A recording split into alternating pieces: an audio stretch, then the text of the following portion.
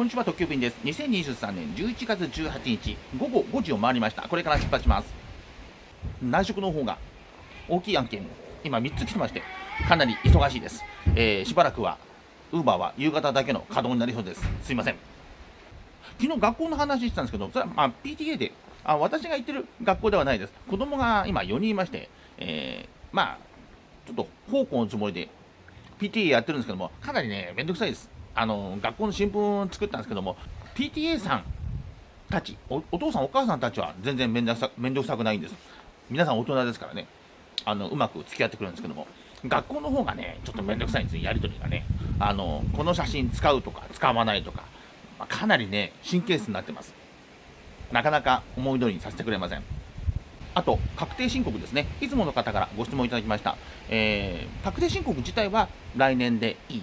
ですよね。それはまあ皆さんご存知なんですけども、帳簿をつけるのはどうすればいいかってことですよね。だから自分の場合は、あの、日照募金2級持ってますんで、自分であの、エクセルで、まあ、ソフトみたいのを作ってまして、えー、そこにあの、出先で、例えば、ジュース買った150円とかいれば150円って入れると、総勘定元帳にピャッて、あの、まあ、情報が送られるようになってますんで、えー、それでやってます。ね、ただ、普通の方はそこまでできないんじゃないかな。あの、自分で、え、どっかでソフトを買って、それで入力して、え、出力する方がいいと思います。えー、なんで僕の場合、あの、まあ、自分でやってるかっていうと、まあ、昔そういうソフトがない時期に自分で先に作ったっていうのもありますし、講座がね、いろんなとこあるもんですから、中国にあったり、えー、香港にあったり、今香港ないのかな？いろんな情報を全部合わせて、為替をちょこちょこっていじくっただけで、全部がトータルできるようなソフトがあんまりないんですよ。で、あの自分のソフトをずっと使ってます。一番最初はワープロの軽く計算ってやつで作ったんですよ。で、それを新しくして、エクセルにしました。で、もうだいぶ前ですけどね。で、それずっと使ってたんですけども、パソコンを買い替えるときに、Google スプレッドシートにしました。プログラミング作り直したんですね、かっこよく言えばね。で、作り直したら、あのそのパソコンでなくても、他のタブレットとか自分の携帯電話から入力できるんですよね。あれはなかなかありがたいな、いいなと思いました。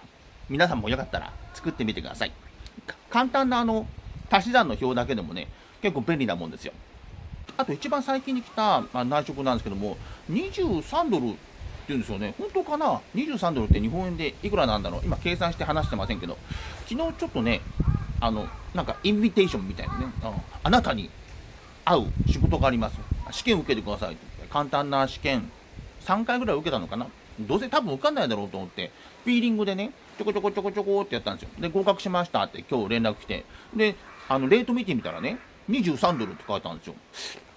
本当かなと思いながらね、ちょっと今日やってみましたけども、本当だったらいいな。はい、では出発します。いつもの公園待機です。今拒否しちゃったんですけども、ネギトロ一本勝負、相生町ってどこなんだろう。相生っていうと、八幡西区のあのドームのもうちょっと西側に相生のマクドナルドがあるんですけどね。でもそこから2.9キロじゃ鞘ヶ谷に行かないし、どっか別の相生だと思うんですけども、ちょっとわかんないで、蹴っちゃいました。では、ジョイフルさん、なりましたんで、行ってきます。1軒目ドロップ、小倉北区青葉です。サインバタ駅です。あ、思い出した。さっきの、あいおいの寿司屋ってあれかな？あの、崖の上カレーの向かいのところかな？だと思います。間違ったらすいません。これですけど、すいません。えー、ペッパーランチがね、たくさんなってたんですけども、遠く行っちゃうんで、全部切りました。蹴りました。で、今、あの、すき家が鳴ったんで、そっち取りに行きます。暇なんで、大河ドラマの半分、見終わってしまいました。でも、今回の大河、ちょっとつまらないな、やっぱりな。なんか違うな、と思います、僕も。若い演者さんが多いからかな。なんか重みがないですね。ものすごく衣装にお金を使った学芸会みたいな、そんな感じがします。3ドロップ目、下糸渦です。今日も8時で終わりにしました。運転率は25%と昨日よりだいぶ落ちました。まあ中心の方結構なってたんで行けばもっと取れたかもしれません。けどまあ最近土曜日日曜日この辺グーンって落ちますんでこんなもんかもしれません。ではまた明日。